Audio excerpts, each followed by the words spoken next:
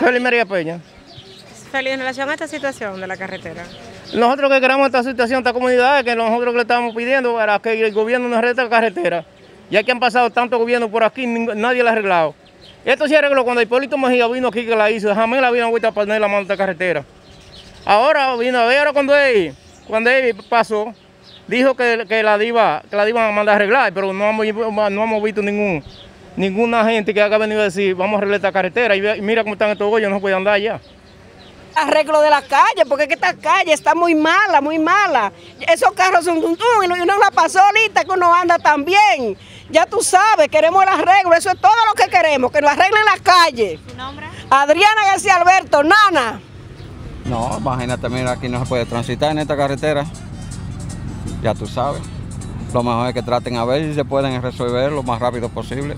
Ya tú sabes, te me cuida.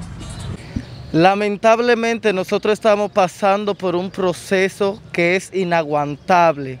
No es justo que de tanto tiempo todavía no tenemos una autoridad competente que nos pueda acudir a lo que es la situación de nuestra carretera. Se ha hecho diversas manifestaciones a la cual se le ha hecho un llamado a todas y cada una de estas autoridades que pueden acudir con nosotros, pero ninguno nos da respuesta. Ya estamos cansados, estamos abatidos de la situación en que tiene nuestra carretera y necesitamos que muy pronto vengan a darnos a nosotros una respuesta, porque ahora estamos pacíficos, pero si no nos dan respuesta, lamentablemente esto va a llegar a problemas muy graves.